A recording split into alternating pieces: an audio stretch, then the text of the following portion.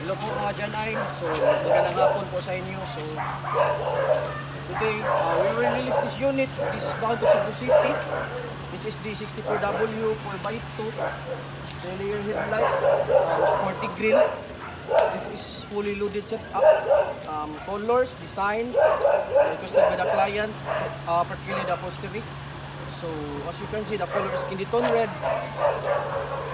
with fog lamp, with stainless wiper and chrome side mirror with signal light by Obic Lifestyle. Shout out kay John Nani.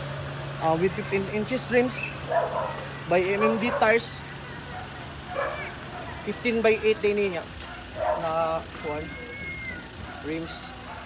So this is dual sliding. So we'll check the interior.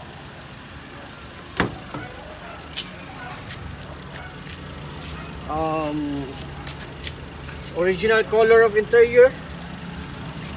And then with tint cage and then with dashcam, stereo. And with dual fan also. Dual fan. Two dual fan. The back also also. This is dual sliding. So we'll check the functionality of sliding left side step board okay, functional. Other side. Functional also. So nice combination of upholstery black and red.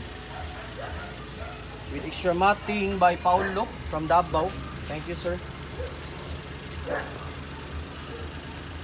So every release sa aming unit um, nililinisan namin yung engine so we'll check the engine guys.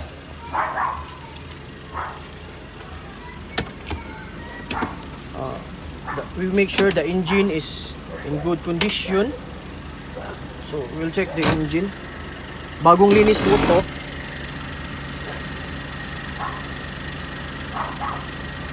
Bagong linis po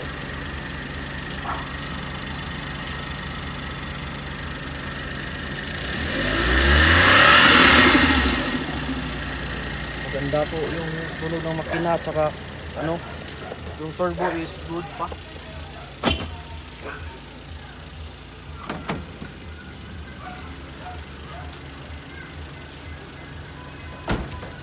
See, maganda po, shiny paint. Shiny paint po. We use unsalt paint. We'll the back with turbo emblem. Sticker of GNI Auto Works. Check the back with back check. Uh, requested po sa client natin.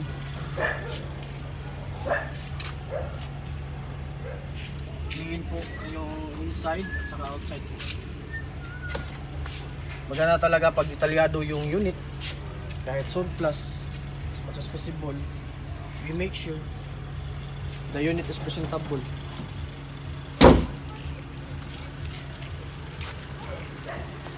Other side of sliding. And the other side of engine guys. We'll check the engine.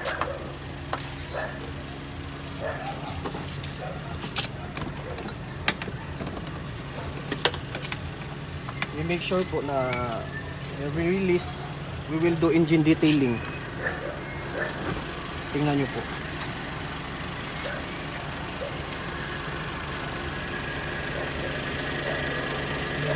Yung makina.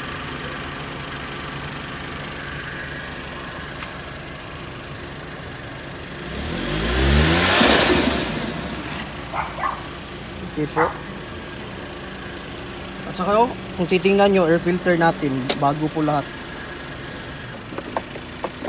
Tingnan nyo. Bago yan. Um, usually, nagpapalit kami ng ano, ah, sa ngayon, PCB valve, pinapalitan namin. At saka yung thermostat, we, we replace brand new. At saka po, um, ano pa, yung under chassis, um, pinapalitan namin yung stabilizer link, yung bushing niya, ball joint, pinapalitan namin yan. So, kasi, alam nyo na, estado na yung unit galing Japan. Once again po, ito po ang Jana Auto Works. This is Popoy. Uh, kung sino po yung ano, gustong mag-order sa amin, you can PM us directly sa aming page po, Jana Auto Works. Thank you. Na tuloy?